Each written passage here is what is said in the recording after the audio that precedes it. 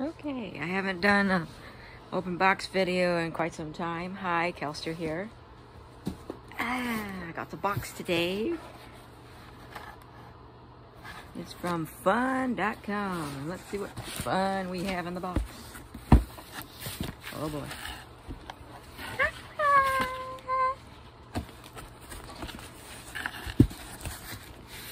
Say it once, say it twice, third time's a charm. Beetlejuice, Beetlejuice, Beetlejuice.